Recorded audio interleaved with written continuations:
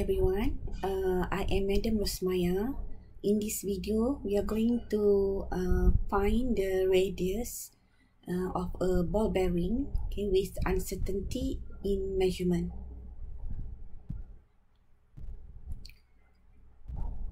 Okay, remember, uh, recall to what we have learned before. There are two rules using differentiation in calculating the error the first rule uh, if the formula involve uh, addition or subtraction example here y equals to a plus minus b. Okay so the error or the uncertainty delta y is equals to the delta a plus delta b. So delta a is the uncertainty for a and delta b is the uncertainty for b. And the second rule if the formula is uh, y equals to k a to the power of m b to the power of n per c to the power of r. So the error will be uh, delta y. Okay delta y per y equals to uh, m delta a per a plus n delta b per b plus r delta c per c. So we cross multiply y to the uh, right side. So becomes uh, m delta a per a plus n delta b per b plus r delta c per c bracket times y. Okay let's say the diameter of a ball bearing okay measured using a micrometer screw gauge here we get 2.061 plus minus 0.001 okay bracket centimeter. So we are going to find the arm radius of the ball bearing So the formula is given by uh, R equals to D per 2. Okay, D is diameter, diameter per 2.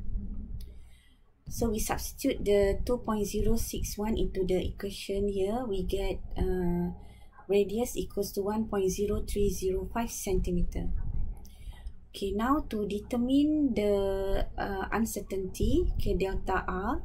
So we use a uh, second rule okay, because this involve uh, division eh? So delta r per r equals to delta d per d. So 2 uh, is a uh, numerical value. So no need eh, to write. So only delta d per d. Okay we cross multiply we get delta d per d times r. Okay then we substitute this r into here. So d per 2 so cancel the d and we get uh, delta r equals to delta d per 2 okay so now we substitute uh, delta d 0.01 into the delta r here. So we get uh, 0.01 divided by 2 we get 0.0005 centimeter. Okay next uh, we can write uh, the radius eh, uh, with uncertainty So we get uh, 1.0305 plus minus 0.005 centimeter. So the error here or certain uncertainty here, we must write in one significant figure. And for both of them must have same number of decimal place. So 1.0305 we write in four decimal places. Okay, so this is the answer for radius. Eh? Uh, with uncertainty. Okay so that's all for the video and thank you for watching